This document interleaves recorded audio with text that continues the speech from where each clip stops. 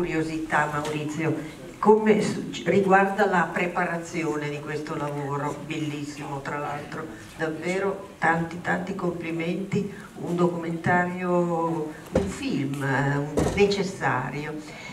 Eh, ecco, tu ti sei messo lì a tavolino, non credo, e hai preparato una lista, sento la Touche, sento il filosofo francese, sento l'attivista indiana, e, e, poi come li hai contattati, come ci sei arrivato, o, oppure sono frutto di incontri che sono capitati mentre eri in altre situazioni, ecco, volevo che ci raccontassi un pochino questo. No, ad essere sincero non esiste una, una, una, scrittura di questo documentario se non una cosa che stava nella mia mente, quindi eh, esiste una scaletta certo di temi, quello sì, perché a un certo punto come vedete il documentario svolta su Olmi e comincia a parlare appunto di quello che succede attraverso l'economia, gli OGM, tutte queste cose qua, quindi Olmi sposta il discorso dall'immigrazione, di quelli che cercano la felicità, a quello che noi mangiamo, per esempio, quello che vogliamo chiedere al contadino.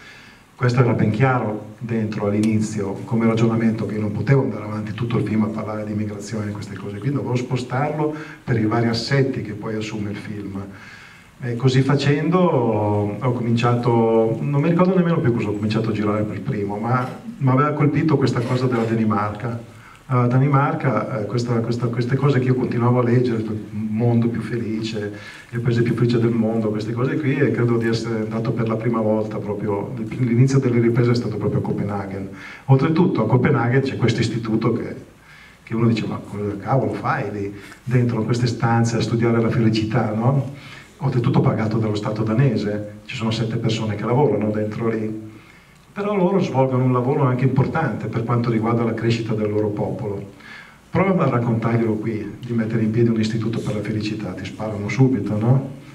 Eh, gli incontri poi con le persone, vabbè, sono persone che conoscevo, l'unica persona alla quale con una grande spudoratezza io ho chiesto un'intervista perché mentre stavo andando a Parigi dalla Touche sull'aereo c'era l'Ariane Mushkin e allora sono andato lì e le ho chiesto io sto facendo questo e quest'altro mi piacerebbe venire a trovarla e sentire cosa ne pensa lei e lei si è fatta raccontare un po' appunto come ha chiesto in questo momento lei come era il documentario, le ho raccontato a grandi linee e mi ha invitato al suo teatro che è questo posto pazzesco che sta alla periferia Vincent di Parigi al suo teatro del Teatro du Soleil e vedete, poi a volte, a volte, succedono anche dei fatti molto particolari perché cos'è che la, cosa, la frase più importante che dice Ariane in questo film?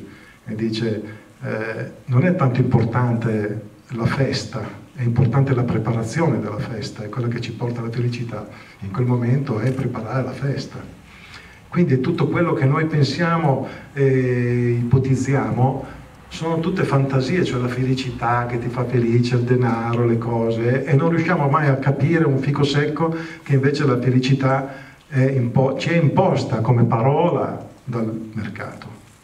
Ed è il mercato che veicola questa in continuazione, in continuazione, perché voi guardate gli spot pubblicitari, cos'è che tutti gli spot raccontano di come possiamo essere più felici con quel materiale, con quella cosa, con quei prodotti?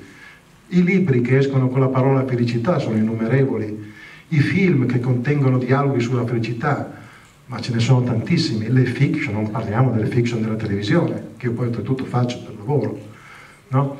E quindi non parliamo di quello, cioè se, gli, se, gli, se, tu gli racconti delle cose che fanno così felice il loro pubblico, te la producono. Eh, non a caso che Gozzalone porta felicità nel pubblico, no? Capite? Esatto ecco, il suo lavoro e quindi lo fa benissimo.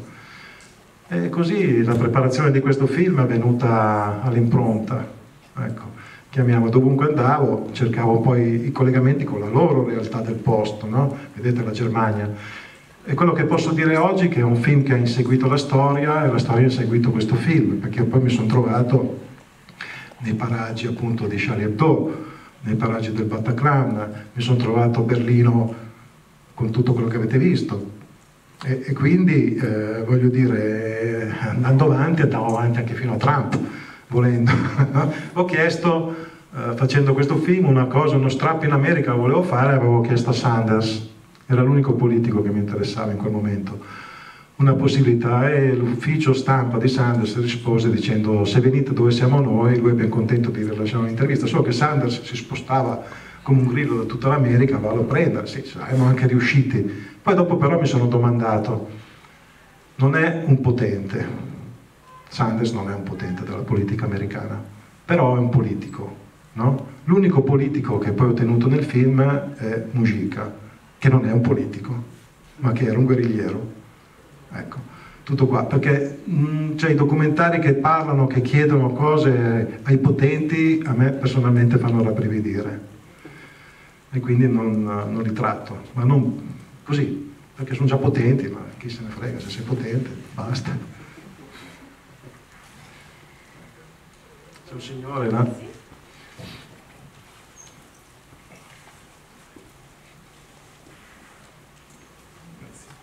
Sì, è vero che si esce diversi, un po' più in, inquieti però, almeno per quanto mi riguarda, perché eh, diciamo che pare che il mondo vada completamente dall'altra parte. Se si pensa che nel PIL è stata messa il, il prodotto della, della mafia o dello spaccio, chiaramente è completamente opposto. E mi viene questo piccolo commento, spero che davvero questo film esca, che si possa andare a vedere anche con a, a altre persone.